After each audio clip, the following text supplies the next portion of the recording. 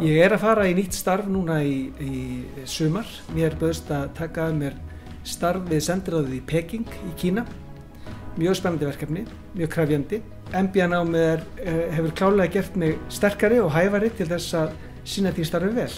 Mér fannst mjög mikilvægt að fara í gegnum þessi soft skill eða, eða mjúku námskreinar, leadership, organizational behavior, uh, strategy. Þessi fög skipta mjög miklu máli á öllum vinnustöðum hvort þú ert með stóran einnstæða lítinn.